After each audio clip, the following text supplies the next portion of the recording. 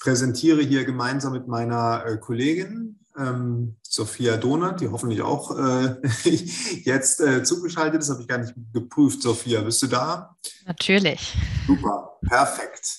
Wie auf Zuruf, ja. Also genau, ähm, wir sind beide äh, in dem Projekt tätig gewesen für das äh, Learning Lab und hatten also auch ein paar äh, spannende Arbeitspakete. Vor allem haben wir uns sehr intensiv mit der Frage ähm, so der lehrenden ähm, beschäftigt und was eigentlich ähm, wichtig ist auf Seite der Lehrenden bei so einer Einführung eines ähm, verteilten, einer verteilten Lerninfrastruktur. Und wir wollen jetzt gar nicht so sehr in den da knapp 20 Minuten, die wir haben, wir versuchen 15 plus vielleicht ein bisschen Diskussion, äh, wollen jetzt gar nicht so sehr ähm, irgendwie das Forschungsdesign beschreiben oder so, weil das haben wir eigentlich alles schon gemacht, was wir gemacht haben, sondern haben gedacht, wir machen eigentlich mehr so ein bisschen so vielleicht äh, ja Reflexion nochmal, so ein bisschen Rückblick, ähm, überblicksartig eher und ähm, verweisen dann einfach auch auf die Publikationen, die wir jetzt im Laufe der Jahre auch veröffentlicht haben. Also wer da nochmal wirklich tief einsteigen will, wenn es jetzt vielleicht ein bisschen oberflächlicher wird in der Kürze der Zeit, der kann da auf jeden Fall gern nochmal ähm, vertieft auch reingucken. Also ist alles äh, natürlich äh, Open Access und so. Also das, da braucht man jetzt nicht äh, irgendwie äh, was zu bezahlen oder so. Genau, und sei natürlich auch nochmal aufs Buch verwiesen. Ähm, ja, und was haben wir eigentlich, was haben wir eigentlich über all die Jahre gemacht? Äh, wie schon gesagt, wir haben uns äh, vor allem so mit der Perspektive eben der, der Lehrenden beschäftigt und was ähm, wir immer wieder gemerkt haben, man, man weiß eigentlich doch noch relativ wenig so über diese Perspektive und gar nicht mal nur ähm, in Bezug auf Deutschland. Ähm, da ist es ja sowieso, dass OER immer noch so, naja, vielleicht jetzt gerade aus dem Nischendasein rauskommt, aber äh, doch eher ähm, nicht so häufig äh, diskutiert wird. Und international ähm, ist es aber auch nicht unbedingt besser. Ähm, und wir haben halt jetzt drei Schritte, die wir Ihnen so präsentieren wollen. Die ersten beiden, äh, oder das erste mache ich, das zweite mache dann, dann gebe ich an eine Kollegin weiter und beim dritten ähm, gibt sie dann wieder an mich zurück. Das eine ist ähm, Systematic Mapping, heißt hier die Überschrift. Ähm, was ist ein Systematic Mapping? Also das Systematic Mapping, da war eigentlich die Motivation, dass wir uns ganz am Anfang des Projektes mal gefragt haben, was wissen wir eigentlich so wirklich äh, empirisch über OER? Ist ja eine, eine, große Diskussion über das Thema, auch international wird immer viel gemacht und so weiter, viel argumentiert, äh, wie gut OER ist und so weiter. Und ähm, dann haben wir geschaut, ja gut, wir würden jetzt doch eigentlich ganz gerne mal wissen, was ist denn so auf der empirischen Ebene, was ist eigentlich wirklich schon empirisch untersucht und was kann man eigentlich so sagen, was kann man nicht sagen, ähm, wo sitzen, wo sind eigentlich so die, die Schwerpunkte. Und ähm, ja, bei Deutschland waren wir uns relativ schnell einig, dass das eigentlich sich, sich kaum lohnt, so eine systematische Überblicksstudie zu machen, weil es einfach viel zu wenig gibt, sage ich jetzt mal so ganz platt.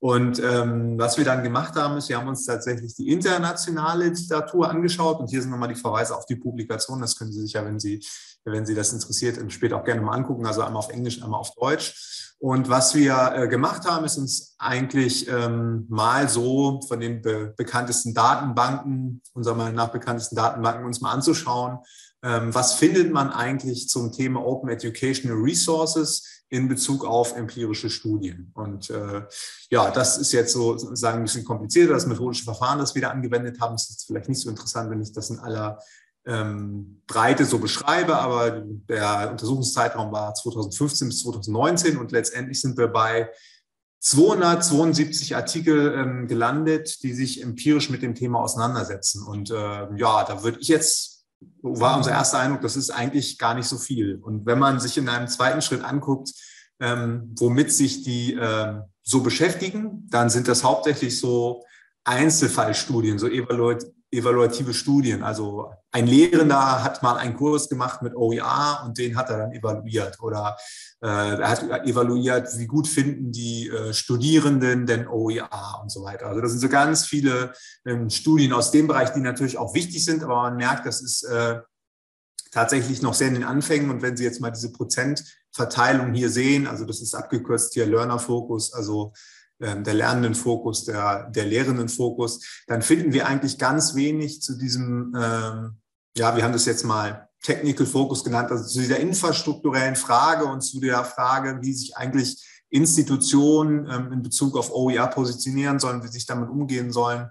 OER Policies beispielsweise, das ist also ein Thema, ähm, was eigentlich noch, noch sehr wenig behandelt wird, vor allem eben, wie gesagt, empirisch. Also da gibt es einfach wenig Untersuchungen dazu und gerade deswegen haben wir gedacht, dass wir mit dem EduArc-Projekt und dieser Frage eigentlich wirklich ähm, ja, so eine ja, Forschungslücke, weiß ich nicht, aber zumindest äh, in einem Bereich vorstoßen, der, glaube ich, sehr äh, ertragreich noch ist, wo relativ ähm, wenig ähm, gemacht wurde und wo relativ wenig Erkenntnisse dazu eigentlich noch vorliegen, wie gesagt, national und sowohl ähm, international. Ja, dann würde ich genau das kurz abschließen. Wenn Sie Fragen haben, gerne parallel schon in den Chat schreiben oder so, weil ich glaube, es ist am besten, wir beantworten das dann zum Schluss ähm, gemeinsam, meine Kollegin und ich, und würde ähm, dann an Sophia übergeben. Ja, vielen Dank, Daniel.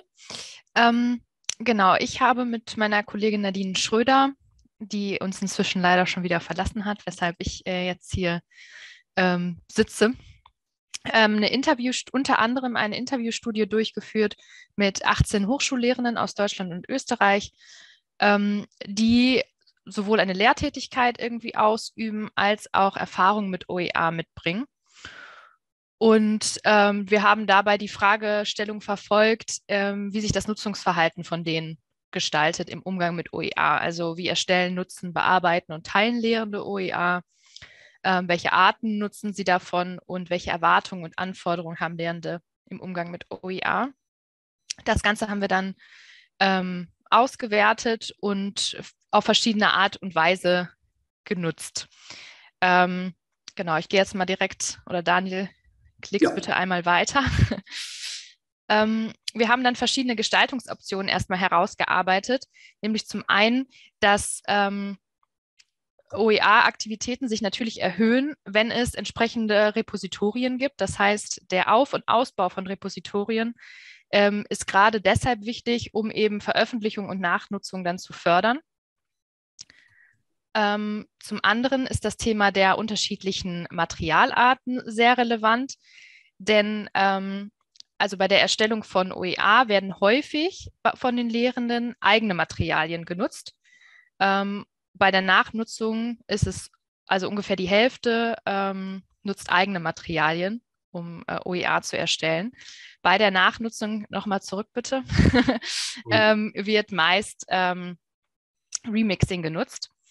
Ähm, warum nicht nachgenutzt wird, ist meistens der Punkt der fehlenden Auffindbarkeit, der fehlenden Qualität und fehlender offener Lizenzen.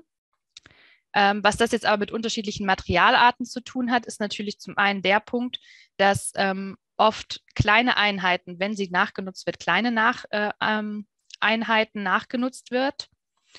Ähm, ist bei den aber meistens ganze Kurse veröffentlicht. Das heißt, einfach ein großes Spektrum an unterschiedlichen Materialarten in den Repositorien zur Verfügung zu stellen und gleichzeitig auch die Möglichkeit der Veröffentlichung zu ermöglichen, ist sehr wichtig. Ähm, neue Versionen mit Änderungskommentaren zu versehen oder versehen zu können, ist gerade deshalb wichtig, weil eben die Nachvollziehbarkeit sichtbar, ähm, sichergestellt werden muss und wie Sie hier in dem Zitat sehen, die Lehrenden natürlich auch irgendwie weiterhin so ein bisschen Macht über ihre äh, Veröffentlichung behalten möchten und selbst entscheiden möchten, ja, diese Änderung von jemandem ist sinnvoll oder eben nicht. Ein weiterer wichtiger Punkt sind die Funktionen zum Austausch. Ähm, das kennen wir alle. Wir ähm, holen uns gerne Inspiration bei anderen Leuten und Foren, Community-Bereich, Chat-Bereich, eben diese Kommentarfunktion.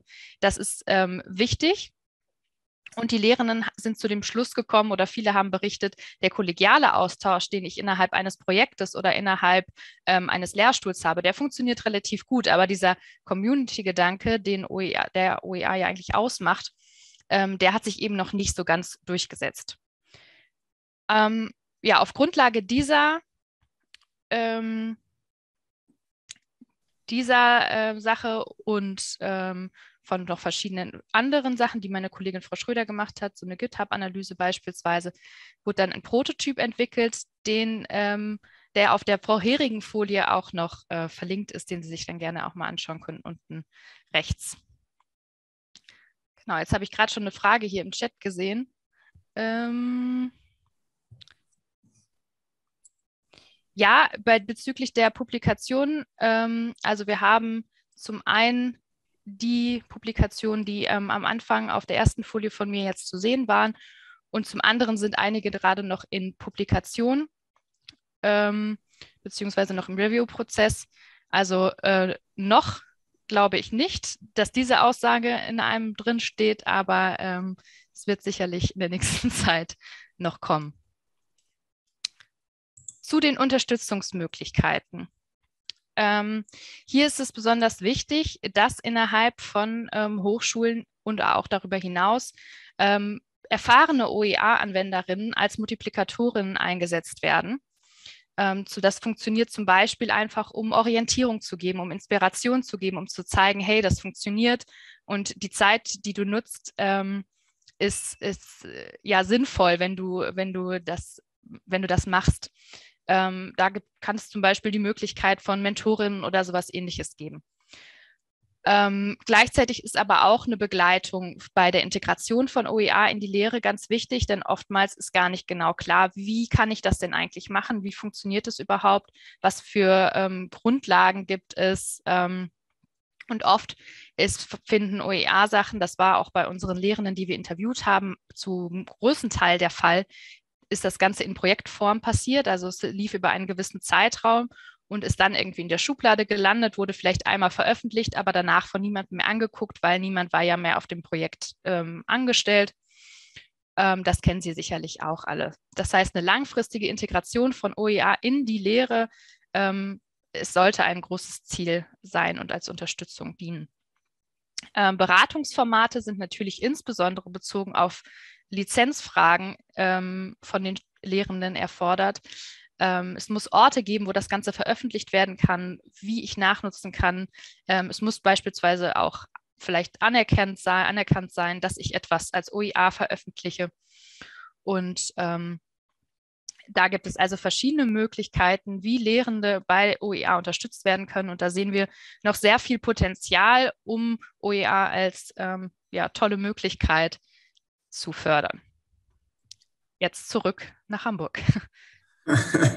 genau, danke. Ja, super. Äh, genau. Schönen Dank äh, für die Präsentation. Dann habe ich jetzt noch genau, äh, nicht, drei Minuten, um noch was zum letzten Thema zu sagen. Aber ich versuche das einfach ein bisschen, ein bisschen abzukürzen. Und dann findet Frau Krüger da vielleicht, glaube ich, auch noch ihre äh, Stellungnahme auch zu den Repositorien und so weiter wieder. Ähm, das ist jetzt auch äh, einmal schon veröffentlicht worden. Also das, da können Sie dann gerne draus zitieren. Oder es wird auch noch einmal bei Open Praxis erscheinen. Die Zeitschrift kennen Sie vielleicht auch noch. Ähm, da äh, haben wir auch nochmal die Aussagen dazu. Und was wir hier gemacht haben, ähm, vielleicht auch so ein bisschen äh, anschließend an das, was Frau, Frau Donat gerade gesagt hat, ist äh, nochmal zu schauen, wie kann eigentlich ähm, eine Hochschule, ja, also wie kann eigentlich die Politik, die Hochschule und so weiter ähm, OER fördern und Lehrende eigentlich dazu bringen, genau das, was Frau Donat eben gesagt hat, ähm, zu tun, bestmöglich zu tun und was können da Anreize sein, ähm, und Maßnahmen. Und äh, wir haben äh, da eben Workshops durchgeführt mit ähm, 33 Lehrenden gemeinsam, also Online-Workshops, war ja in der Corona-Pandemie, was aber eigentlich gar nicht schlecht war, weil wir da, glaube ich, ähm, dadurch eine, eine, viel größere Zahl an Lehrenden gewinnen können, ähm, die äh, da mitgemacht haben. Und es war so, dass wir äh, tatsächlich nur Lehrende eingeladen haben, die schon mal mit OER gearbeitet haben. Also das war uns ganz wichtig, weil wir, glaube ich, häufig auch so forschungsmethodisch das Problem haben, dass wir immer so generell in die Breite fragen, so ähm, erstmal, kennt ihr überhaupt OER, äh, nutzt ihr überhaupt OER und wenn ihr es noch nicht nutzt, äh, äh, was muss man eigentlich tun, damit ihr es nutzen würdet und so. Ist halt immer recht schwierig, wenn man Leute fragt, die von dem Thema jetzt nicht so viel Ahnung haben, was man tun sollte, um das zu fördern. Also da ist es manchmal so von der Methodik ein bisschen ähm, schwierig und deswegen haben wir äh, es mal umgedreht und haben eigentlich die äh, Lehrenden, die schon OER nutzen in der Lehre, gefragt, was müsste eigentlich eine Hochschule tun, ähm, um OER zu fördern und ähm, was müsste auch bezüglich Repositorien gefördert, äh, getan werden. Und ähm, diese Lehrenden haben mit uns gemeinsam so eine Prioritätenliste äh, erarbeitet. Das habe ich jetzt hier an so eine Art Ampelsystem ähm, angeworfen. Also wie gesagt, in der Publikation steht es auch noch mal ein bisschen besser und ausführlicher drin. Ich wollte nur so ein bisschen jetzt ganz verkürzt mal, mal darstellen, wie das ähm, sozusagen ausgesehen hat. Und da kann man, glaube ich, sehr schön sehen, also die grünen Sachen, also es war so eine Skala von 1 bis 5, die ähm, grünen äh, Punkte sind also wirklich äh, Sachen, die, die die Lehrenden als sehr dringend erachten, während die roten sind, welche sind, die sie eben als sehr vernachlässigbar erachten. Und äh, da kann man so ein bisschen ähm, vielleicht auch schauen, was so für Ideen, was so für Konzepte diskutiert werden sollten, vielleicht gefördert äh, soll, äh, werden sollen, die für äh, die Nutzung von OER einfach zuträglich ist. Wir haben das Ganze gemacht einmal für die Hochschule allgemein, also auf einer grundsätzlichen Ebene. Da sehen Sie auch so Elemente wie ja, kostenlose Rechtsberatung zum Beispiel, ähm, die Metasuchmaschine haben wir das genannt. Also das ist ja das, was wir so ein bisschen hier auch machen im EduAG-Projekt, die Drittmittelförderung und so. Also ganz viele Komponenten, wo, wenn Sie sich vielleicht auskennen, die jetzt vielleicht nicht unbedingt ähm, besonders überraschend sind, aber ähm, ja, auf jeden Fall äh, für eine Schule, äh, für eine Hochschule ähm, sehr äh, förderungswürdig, glaube ich. Die zweite Komponente, die wir noch genommen haben, sind die ähm, die Frage der Repositorien und ähm, wie soll ein Repositorium eigentlich gestaltet werden an Hochschule. Auch dazu haben wir die Lehrende befragt und haben das wieder genauso gemacht mit diesem ähm, Ampelsystem äh, sozusagen. Also einmal das Rot, das ist jetzt eher vernachlässigbar, was Priorität und Wirkung angeht und die grünen Sachen sind eben die, die gerne